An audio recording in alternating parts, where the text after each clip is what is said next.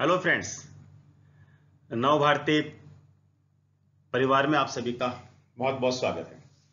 हमने कक्षा बारहवीं का प्रथम लेसन कंपोजिट फ़ंक्शन संयुक्त फलन प्रारंभ किया हुआ है, जिसमें आपने पहली प्रश्नमाला कर ली होगी, जिसके अंदर हमने समझा था कि संयुक्त फलन किस प्रकार से क्या होते हैं, संयुक्त फलनों के गुण क्या होते हैं, गुणधर्म क्या होते हैं, उनकी विशेषताएँ क्या होती हैं, और संयुक्त फलन किस प्रकार से निकालते हैं।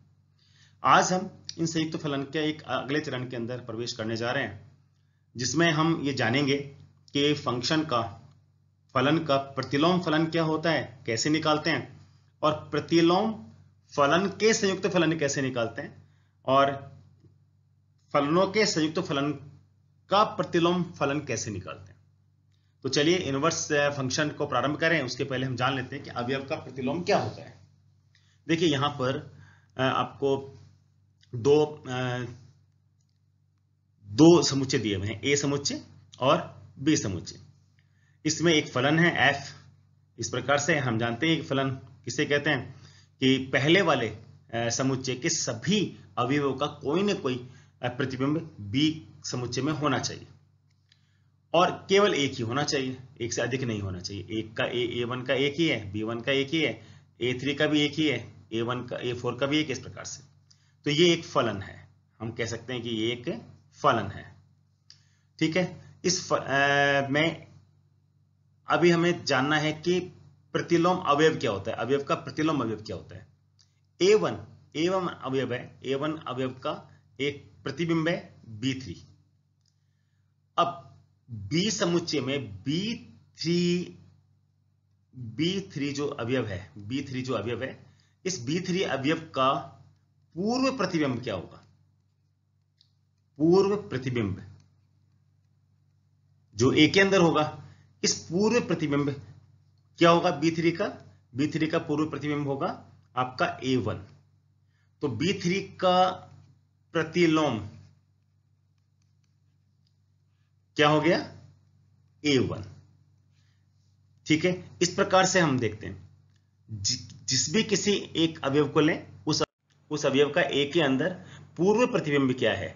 ये जो पूर्व प्रतिबिंब है, इसी को हम प्रतिलोम अवयव की कहते हैं। हम इसको एक उदाहरण के द्वारा समझते हैं। एक उदाहरण है, ए समुच्चय है, और इसमें हमें एक फलन दिया हुआ है।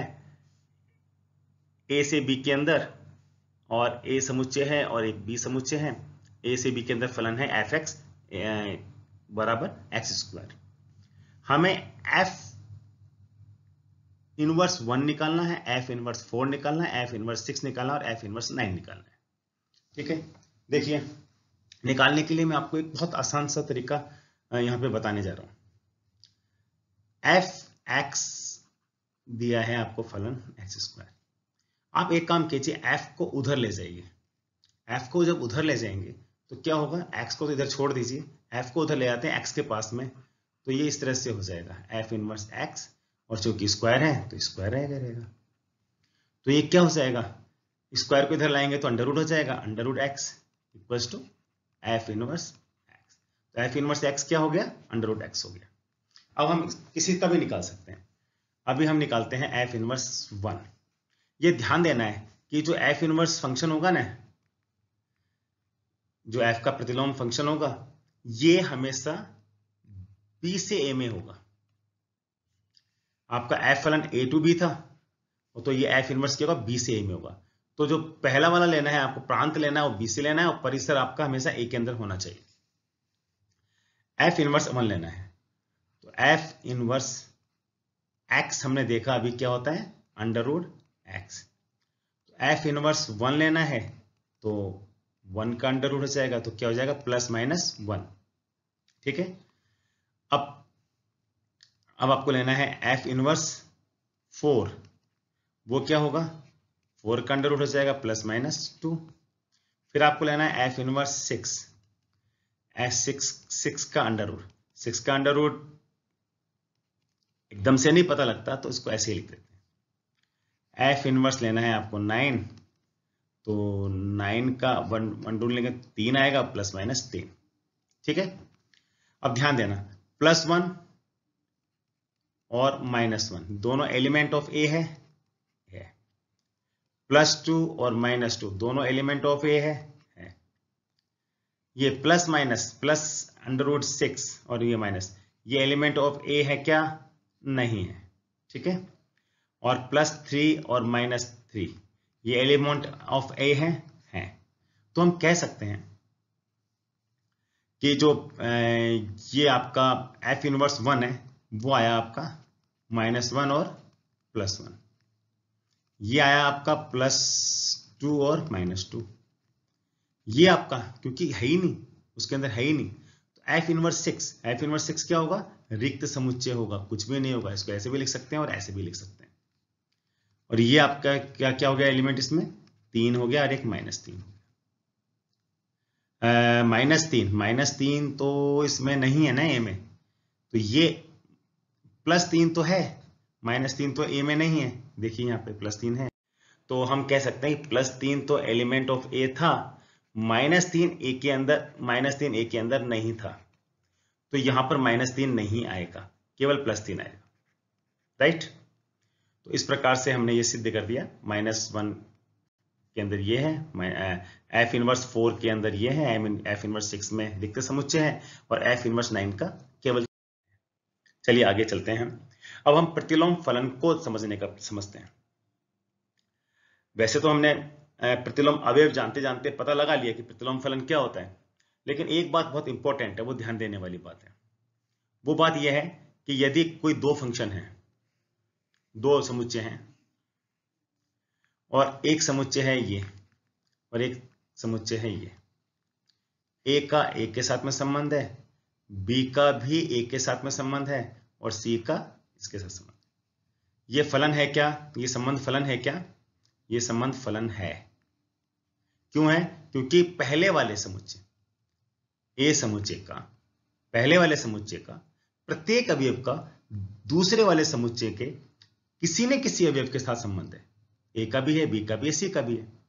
और केवल एक एक के साथ में ही संबंध है। ए का वन के साथ में बी का वन के साथ में सी का तीन के साथ में एक एक के साथ में ही तो हम कह सकते हैं कि ये एक फलन है। अब यदि ऐसा होता एक दो तो, तीन एक फ़ंक्शन होता और एक समुच्चय होता आपका ए बी सी ये समुच्चय बी है ये समुच्चय है ये इनवर्स है। इनवर्स हम निकालना जा रहे हैं। तो संबंध इनवर्स देखते हैं ए का किसके साथ साथ में ए का एक के साथ में। दो का आ, दो का तो किसके साथ में नहीं है? एक का बी के साथ में बी संबंध है और तीन का सी के साथ ये फलन होगा क्या? ये फलन नहीं होगा क्योंकि एक सभी अवयवों का कोई ना कोई संबंधी दूसरे समुच्चय में नहीं है। दो का कोई भी नहीं है। एक के दो हैं और तीन का एक है। तो इसका ये फलन बनेगा ही नहीं। तो हम कह सकते हैं कि इस वाले फलन का एफ़ का इनवर्स फलन होगा ही नहीं। ये इसका अस्तित्व ही नहीं होगा। तो फिर अस्तित्व किसका होगा? प्रतिलोम फलन निकालने की क्या कंडीशन होती है और किसे कहते हैं प्रतिलोम फलन? जब कोई, यहाँ लिखा है, देखिए, एक एक की आच्छादक फलन हो तो कंडीशन है, एक एक की आच्छादक फलन। तो ही एफ़ का प्रतिलोम होगा। क्यों ऐसा बोला इन्होंने? ध्यान दीजिए। हम एक एक के आच्छादक फलन को देखते हैं। ए, बी। ए बी सी एक दो तीन। एक एक ही का मतलब क्या होता है? एक एक ही का मतलब होता है एक एक ही सबका केवल एक एक ही आ, वो होना चाहिए संबंधी होना चाहिए। एक का। सबका एक एक ही होना चाहिए। तो एक एक ही हो गया ये तो। आच्छादक बी में जितने भी अवयव है सब का कोई ना कोई पूर्व प्रतिबिंब होना चाहिए। मतलब सब किसी न किसी संबंधित होने चाहिए। ये हुआ आपका एक एक ही आच्छादक एक एक की तक। अब इसका इस फ़ंक्शन का जब हम प्रतिलोम फलन निकालेंगे, इसका प्रतिलोम निकालेंगे तो प्रतिलोम क्या होगा? ए का वन के साथ बी का टू के साथ और सी का थ्री के साथ। तो सभी का कोई ना कोई संबंधी हो जाएगा ना दूसरे वाले में? और केवल एक एक ही होगा ना? तो ये भी क्या होगा? तभी जाके इसका इनवर्स फलन भी निकलेगा, प्रतिलोम फलन भी निकलेगा। तो प्रतिलोम फलन निकालने के लिए इनवर्स फ़ंक्शन निकालने के लिए आवश्यक है कि वो फ़ंक्शन एक एक ही आच्छादक हो। ठीक है? एक बात और, जो एफ़ जो प्रतिलोम फलन होता है, उसका जो प्रांत है, वो फलन के परिसर के बराबर होता है, और जो उसका परिसर होता है, प्रतिलोम फलन का, वो फलन के प्रांत के बराबर होता है। इसको समझने के लिए हम एक उदाहरण लेते हैं। देखिए F X equal to X square minus one दिया हुआ है। मैंने आपको बताया था इसके प्रतिलोम फलन निकालने के लिए बहुत आसानी से हम एक काम कर सकते हैं। एक्स को तो यहीं रहने देते हैं और एफ़ को उधर ले जाते हैं।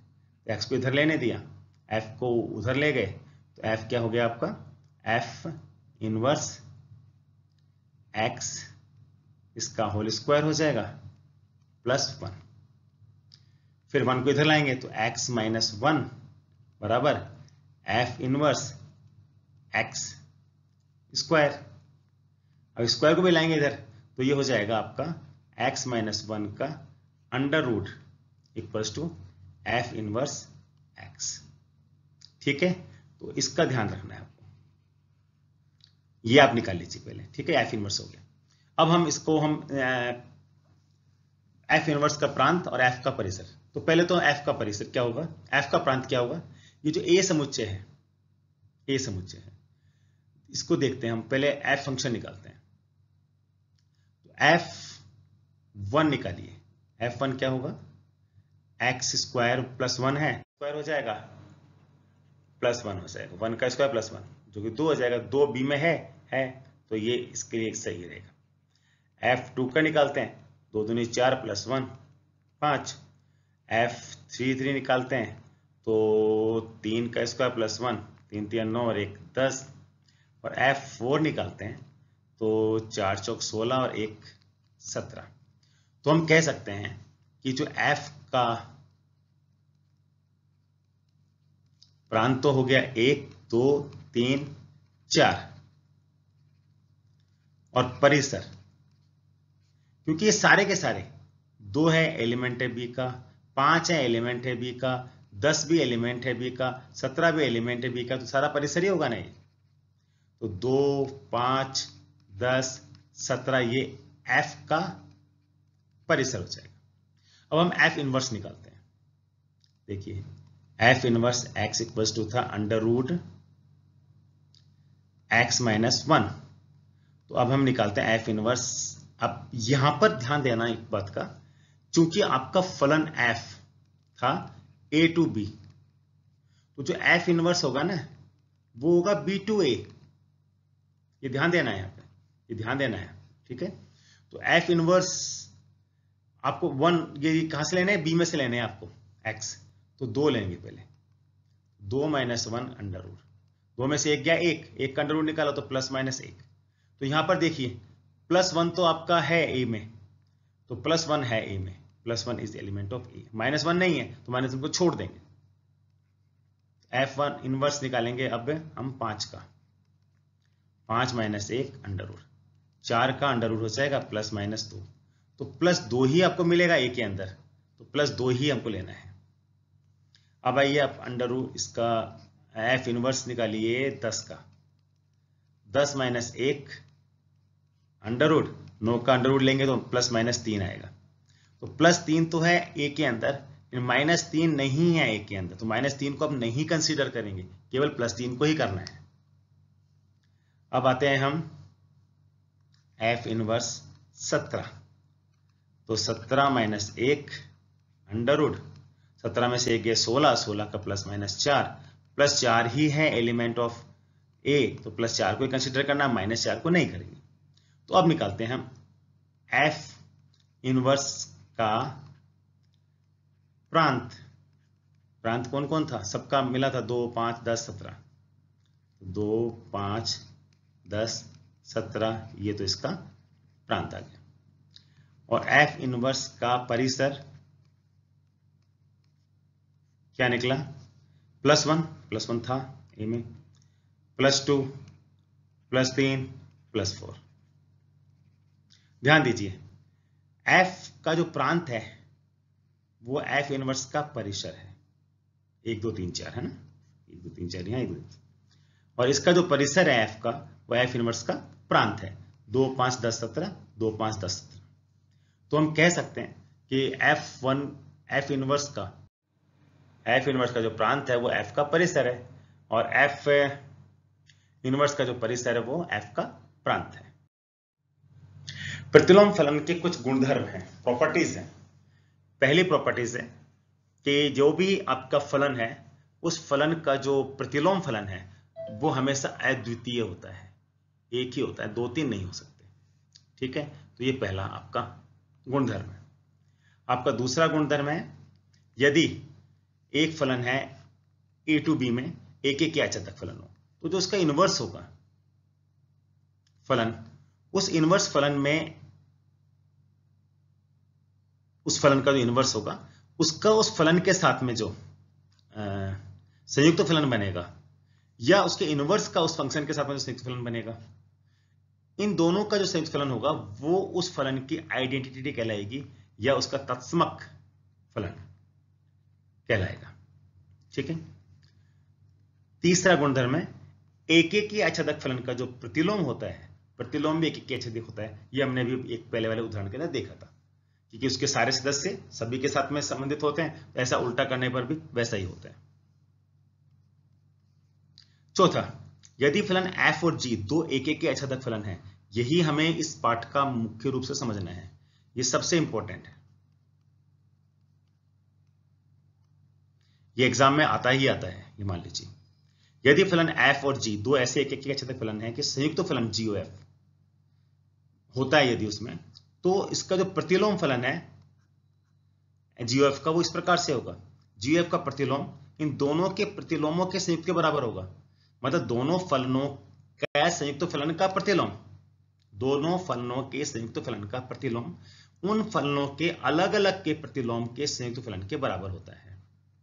इसको भी हम एक उदाहरण के द्वारा एक उदाहरण लेते हैं तो सबसे पहले हम निकालते हैं जीओ एफ़ माइनस तो देखिए पहले निकालना है आपको जीओ एफ़ इसे निकालने के लिए क्या बताया था?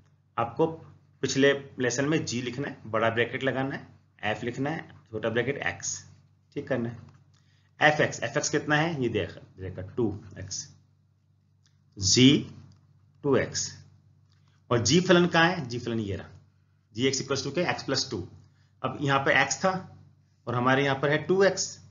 ठीक है? तो यहाँ x था यहाँ टू एक्स है? तो यहाँ x के बराबर x प्लस टू था तो टू एक्स है तो यहाँ पे x की जगह क्या हो जाएगा? टू एक्स हो जाएगा।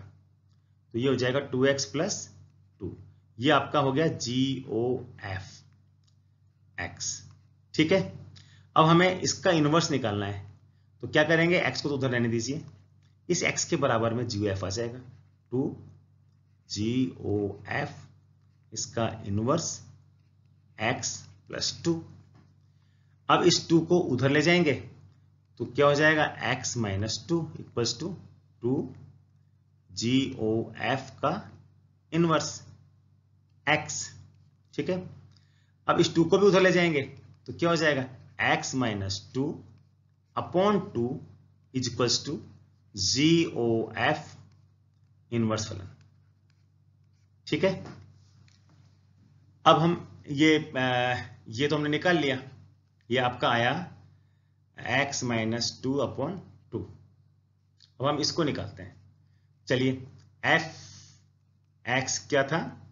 F x equals to two x f inverse को उधर ले जाएँगे तो एक्स को इधर छोड़ दीजिए। दो, इस एक्स के पास में एफ़ इनवर्स को ले लीजिए। इस प्रकार से, ठीक है? इस टू को इधर लाएँगे तो ये हो जाएगा आपका x upon two equals to f inverse x ठीक है? इसको यहाँ छोड़ दीजिए। या फिर इनवर्स एक्स निकाल लिया आपने। एफ़ इनवर्स एक्स अब निकालते हैं g inverse x g x क्या है? एक्स प्लस टू तो एक्स को इधर छोड़ दीजिए। और जी को उधर ले जाइए। तो g inverse x plus two plus two को इधर लाइए। X minus two equals to g inverse x हमें निकालना क्या है? हमें निकालना है एफ़ इनवर्स और जी इनवर्स का संयुक्त फलन। ठीक है? देखिए, मैंने बताया था आपको एफ़ इनवर्स लिखिए, बड़ा ब्रैकेट लगाइए जी इनवर्स लिखिए, एक छोटा ब्रैकेट ओपन। ये पहले हमने पहले वाले लेसन के अंदर पढ़ लिया था। F inverse g inverse x कहाँ है? जी इनवर्स एक्स ये रहा। ये कितना? X minus two. तो यहाँ हो जाएगा एक्स माइनस टू।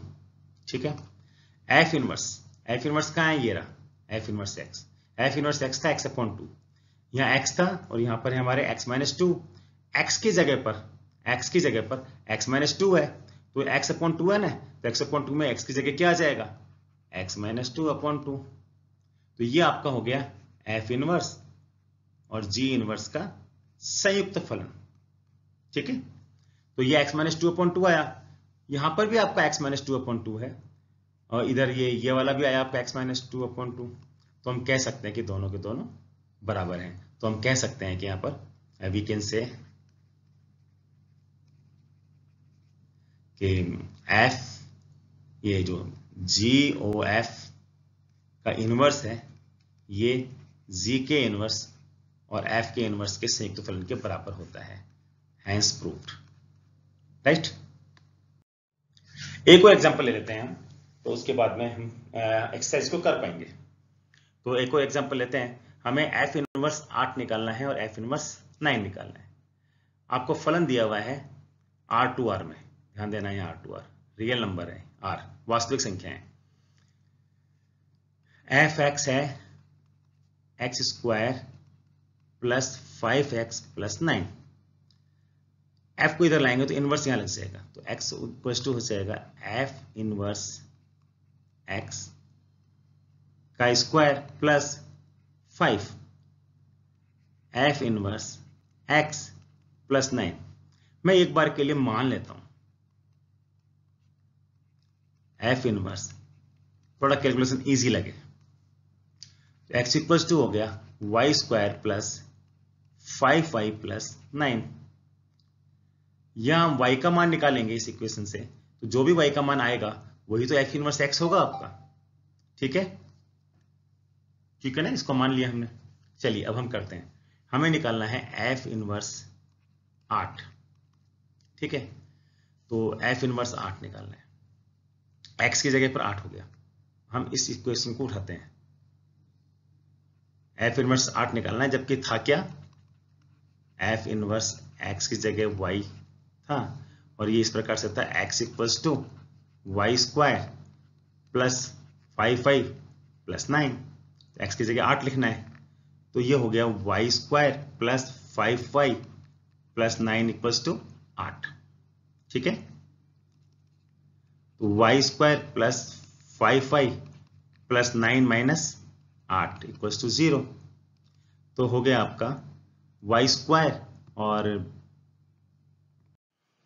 तो यहाँ पर हो जाएगा आपके y square plus five five plus one equals to zero से धाराचार्य फार्मूला लगाते हैं तो y इक्वल्स टू हो जाएगा minus five plus minus under root five square minus four a c upon upon पाँच दूनी दस, two into five four a a की जगह पर वन है और सी के जगह पर भी वन है। देखिए फॉर्मूला क्या होता है? यदि a x square plus b y plus c to zero हो b x b x a x square plus b x plus c equal to zero हो तो एक्स इक्वल टू होगा minus b plus minus under root b square minus four a c upon twice a तो उसी फार्मूले को यहाँ लिया है। तो ये हो जाएगा minus five plus minus under root पच्चीस माइनस फोर अपॉन पाँच दूनी दस। तो ये हो गया minus five plus minus under root इक्कीस अपॉन टू तो y के दो मान आए।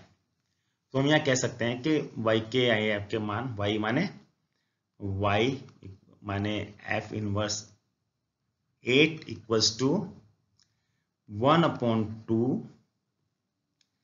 आपके ब्रैकेट में लिख देते हैं minus five plus under root twenty one और दूसरा मान हो गया one upon two minus five minus under root twenty one ठीक है? दो मान अब हम निकालते हैं इसका f inverse nine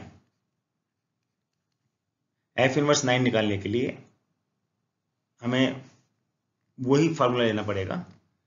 X equals to y square बराबर y square plus five y plus nine ये वाला फॉर्मूला ठीक है? तो x की जगह क्या लिखना है? नो लिखना है x की जगह। तो nine equals to y square plus five y plus nine तो हो जाएगा आपका y square plus five y plus nine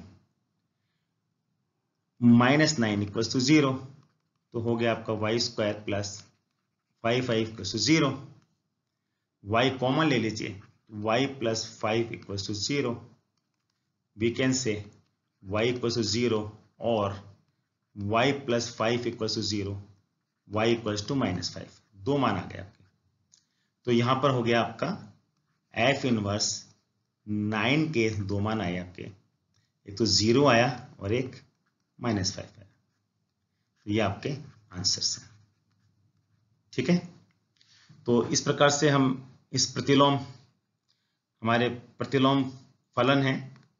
उसके आगे आपको एक प्रश्न है। इस प्रश्नमाला को आप हल करिए और इसमें हल करने के बाद में आप में कॉन्फिडेंस भी आएगा और आप इसको और अच्छे प्रकार समझ पाएँगे। पहला प्रश्न देखिए। इसमें एक समुच्चय दिया है ए एक समुच्चय दिया है बी तो ए से बी में एक एक आच्छादक फलन परिभाषित करने हैं, तथा उनके प्रतिलोम फलन भी ज्ञात करने हैं। चार एक एक आच्छादक फलन करने तो ए से बी में कैसे करेंगे? या आप करने का प्रयास कीजिए। दूसरा है, आपको दिया हुआ है एफ़ इनवर्स, होगा या नहीं होगा? ये पता करना है, और होता है तो फिर आपको एफ़ इनवर्स 24 और एफ़ इनवर्स फाइव ये निकालने हैं दोनों। कैसे निकालेंगे आपको बताया हुआ है मैंने कि एफ़ एक्स है तो एफ़ इनवर्स एक्स निकाल लीजिए पहले और फिर कर लीजिए। और भी प्रश्न है, सारे करिए। यहाँ देखिए, इसको सिद्ध करवाया है। ये वाला क्वेश्चन आपके लिए इंपॉर्टेंट क्वेश्चन हुआ। ये संयुक्त फलन पाठ है और संयुक्त फलनों का इनवर्स और इनवर्सों का संयुक्त फलन, ऐसा करके निकालना। इन दोनों के क्रमित युग्मों के रूप में लिखना। यदि इसको करिए और भी सारे प्रश्न करिए, और सभी प्रश्नों को करने के बाद में आप इसकी एक वीडियो बनाइए या फिर इसको पिक्चर्स बना के फ़ोटो खींच के और पीडीएफ फ़ाइल बना के भी मुझे सेंड कर सकते हैं। और कोई भी आपको प्रश्न नहीं आता है तो मेरे कमेंट बॉक्स में जाकर भी लिख सकते हैं, या मेरे सीधे सीधे मेरे पर्सनल व्हाट्सएप के ऊपर भी आप मुझे बता सकते हैं कि तो मैं आपको डेफिनेटली निश्चित रूप से इसका रिप्लाई करूँगा। धन्यवाद।